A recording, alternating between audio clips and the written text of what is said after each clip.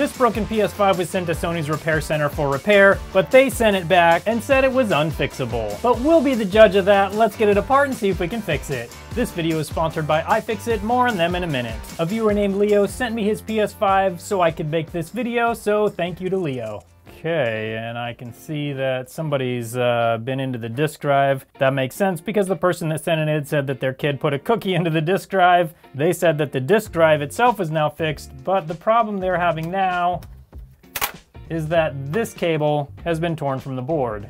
Apparently this is what Sony couldn't fix. That's no problem though. I'll give you guys a little training lesson, Sony. For this repair, I'm gonna be using iFixit's ProTech Toolkit. This toolkit is one of my favorites because it's got all the basic things you need to open up almost any device.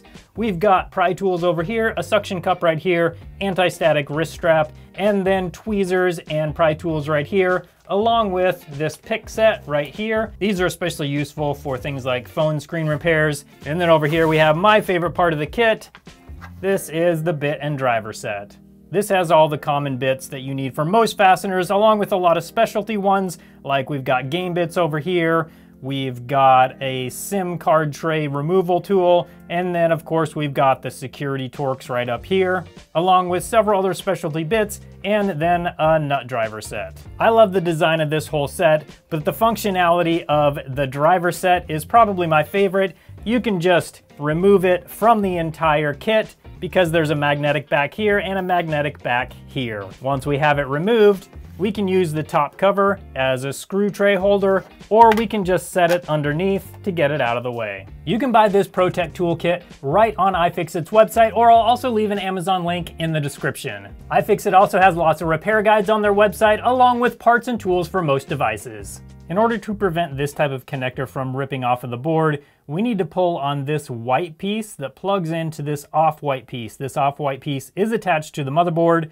This white piece is not. So we want to pull on this edge and this edge of just the white piece, making sure that the pliers don't slip and damage these wires. So I will put my pliers right there, making sure that they're not pulling on the off-white piece, and then we just pull straight up like that.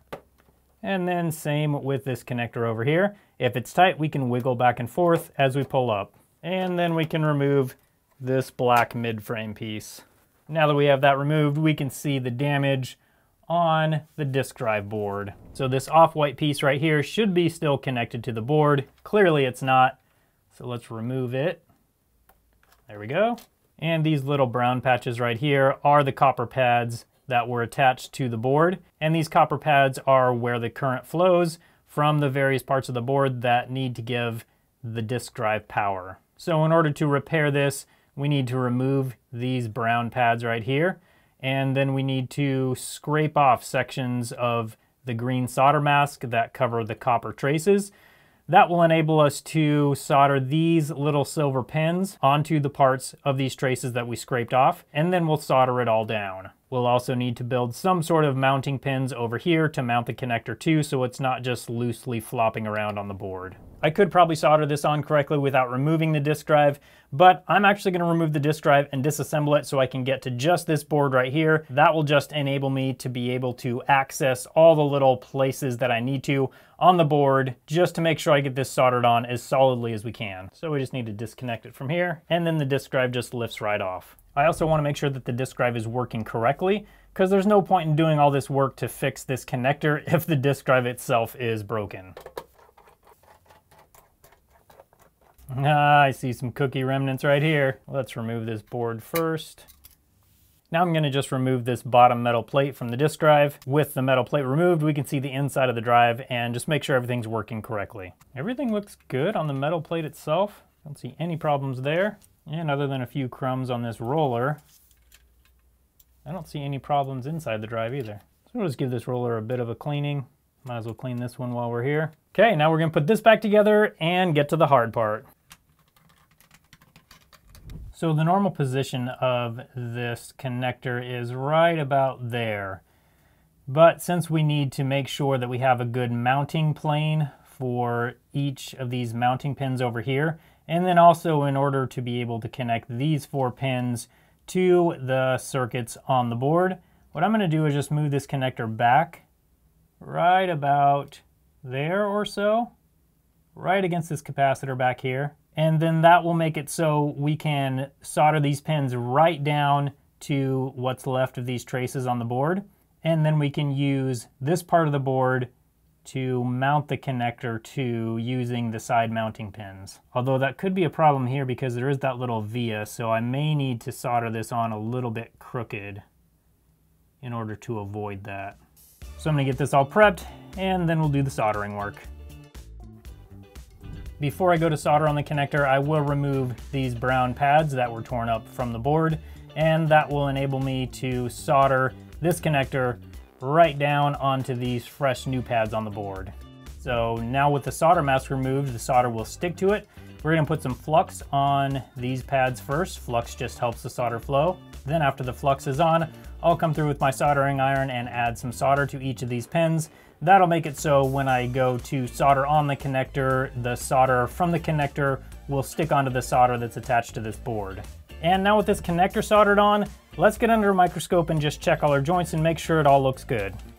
So this first mounting pin over here, that's mounted on there really nicely. Got a really good connection of solder right there, so that's gonna be really strong. This first pin right here looks great.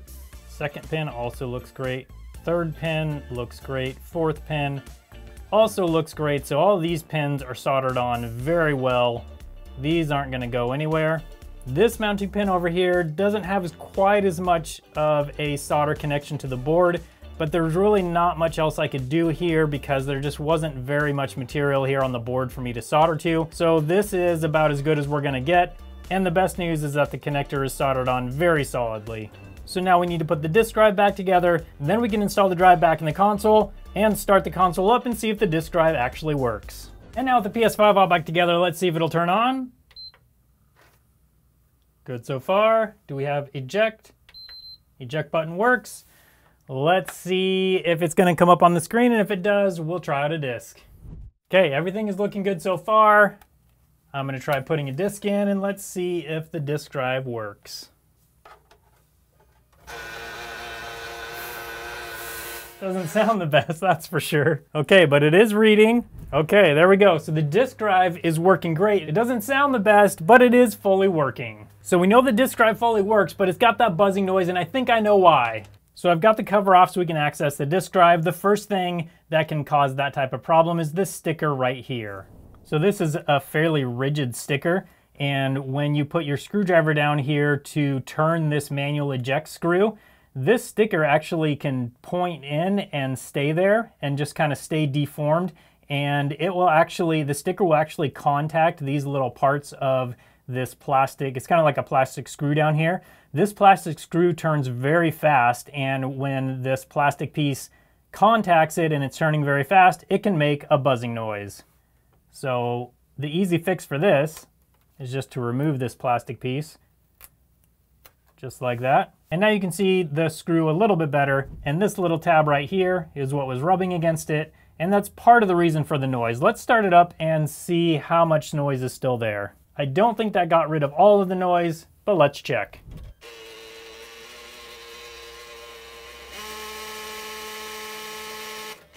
Definitely a lot of noise there still. So since we still got a lot of noise there, we got to take the disk drive the rest of the way apart. So we'll get it apart and have a look at those little gears. So right over here is the gear train of this disk drive. So let's remove the laser assembly out of it. And then we can see just the motor and the gear train right here. So on the top side is the manual eject screw. And that should operate this whole gear train when we turn it. So if I put my screwdriver in here, it does not turn either way. It's just totally bound up in there. But at the same time, I don't see any problems with any of these gears. So there's either something going on with one of the gears, or we could actually just have a bad motor as well. I think the next step is going to be removing this whole gear train and then we can check the motor and the gear train and see what exactly is causing this to bind up. We've already gotten that screw out down there, so now we need to remove this one. And there's one more screw right under there. So we need to remove this plastic piece first. And I've actually never done that before on these things. Okay, that wasn't too bad. Now we can get that screw off. Also, we can see a worm gear down here. So this worm gear right here is what drives this entire gear train. That screw out, and we should be able to get this whole gear train out now. Okay, and there we go. So first things first, I don't see any problem with any of these gears. There's nothing stripped. I don't see anything binding here, so I don't think the problem is in the gear train. I think maybe it's either with this worm gear or possibly even the motor itself. So one way to figure out what exactly is causing this problem is to just start removing gears. And then once we get all the gears removed, we can see if the motor is still having that issue. Oh, I did get it to turn. Oh, I had it turning and then it just stopped. I think we have a motor problem here because I can some, there we go. It's turning now, but it won't turn the other way and then it's locked up again. It doesn't look like the worm gear itself is damaged or anything like that. So I think the noise we're hearing is these gears kind of skipping and causing that noise, just like that. So if we look at a known good drive, which I happen to have right here, we can put our screwdriver in and you see how easily that turns? And also how quietly. So I think the obvious answer here is to remove the motor from this disk drive and put it into the broken one. So here is the manual eject and we can turn it very easily both ways. Here it is from the other side. Everything turns nice and freely. Now I want to get the laser back in and test it again. I just want to kind of test it at every step along the way just to make sure that it's going to work once we get it all put back together. So now we can install the bottom plate and let's test it one more time with the bottom plate on. Okay, and that is all turning freely. Now I'm just gonna get the rest of this disk drive put back together and then we'll test it once more before we get it put into the PS5. And now let's test it one more time. I just wanna make sure it turns freely and doesn't make a ton of noise. Oh yeah, that's, that's working great. Feels great. Now I just need to get this disk drive put back into the PS5 and then we can test it again. So we have our PS5 all back together. We've got it started up. Let's see if it plays a disc and if it's nice and quiet how it should be. And here we go. It's nice and quiet, but does it read the disc? Okay, it shows that there's a disc in it. It's reading it and it is still nice and quiet. Okay, and there we go. Let's eject it and just make sure that it's gonna stay nice and quiet when we eject it.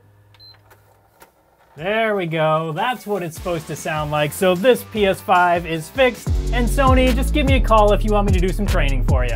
If you like this type of video, you'll probably like the video where I tried to fix a PS5 that two other shops couldn't fix. I'll put that link up on your screen now so you can come hang out with me over there and see if I can fix it. Thank you again to iFixit for sponsoring this video, thank you for watching it, and I hope you have a good one.